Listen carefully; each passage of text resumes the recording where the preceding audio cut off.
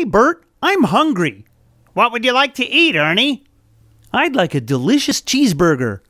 Are you hungry for a good book instead? A book? I love reading, but I don't want to eat a book, Bert. I don't mean eating an actual book, Ernie. I was referring to the Yummy Cheeseburger Book Report projects that you can find on unique teaching resources. That sounds like a delicious and fun reading idea. These uniquely shaped cheeseburger book report projects have seven layers the top bun, onion, lettuce, tomato, cheese, meat, and the bottom bun. You will get to write about the main characters, setting, plot, and conclusion in the different layers of your cheeseburger project. I'm getting hungry to start this delicious book report project right now. Where can I find this fun reading project, Bert?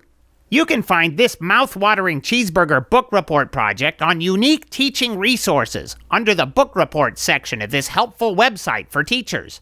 Thanks, Bert. I'm ready to bite into literature today with these yummy cheeseburger book report projects.